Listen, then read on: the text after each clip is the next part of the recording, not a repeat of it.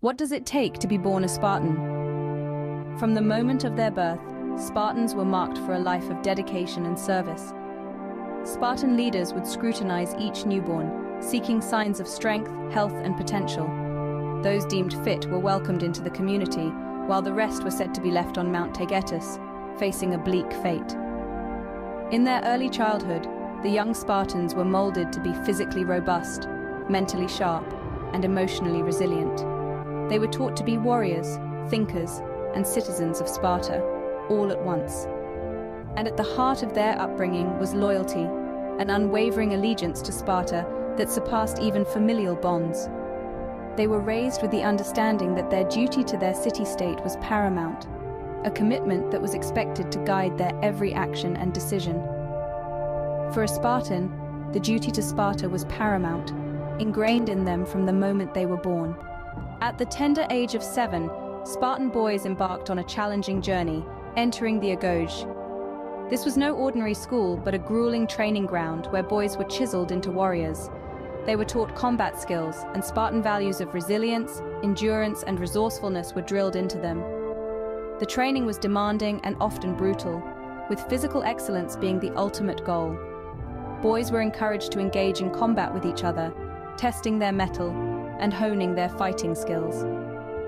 The conditions were harsh, with deliberate underfeeding and minimal clothing to prepare them for the realities of war. Resourcefulness was tested through a curious practice where boys were encouraged to steal for survival. And then came the diamastigosis, a brutal contest of endurance where boys were whipped in a religious ritual, testing their pain threshold and endurance to the extreme. The agoge was a crucible, shaping and tempering young boys into the formidable warriors Sparta was known for. Spartan education was not limited to martial skills alone. The young warriors in training also delved into academic pursuit, learning to read and write. These weren't just idle pastimes. They were crucial skills that offered Spartans a broader understanding of the world and their place in it. Dance was another integral part of their training, teaching them grace and control over their bodies skills that would serve them well in the heat of battle. But what about the Spartan girls? Their education was no less rigorous. While they remained at home, they attended schools where they were immersed in the arts. Music, dance, and literary skills were all part of their curriculum. Furthermore, they were trained in sports like discus, javelin, and horseback riding, ensuring they remained in peak physical condition. Their role in Spartan society was as essential as the boys, expected to produce strong and healthy future warriors. Despite the harshness of their upbringing, Spartans were not just warriors, but well-rounded individuals, capable of contributing to their society in various ways. The Spartan way of life, as harsh as it was, forged some of the most feared warriors of the ancient world. Their unique societal structure, with its relentless focus on martial prowess and resilience, set them apart. Spartan children from birth were shaped into robust, mentally sharp, and emotionally resilient beings, with their sole purpose being to serve Sparta.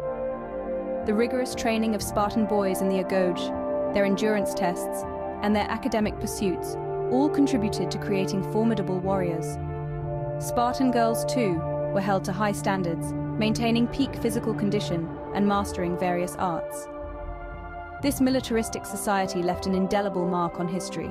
Their influence can be seen in later civilizations, which emulated aspects of Spartan military training and societal structures. Their tales of bravery and resilience continue to inspire and fascinate us. Although the Spartan way of life is long gone, its legacy endures, reminding us of a society that was singularly dedicated to the art of war.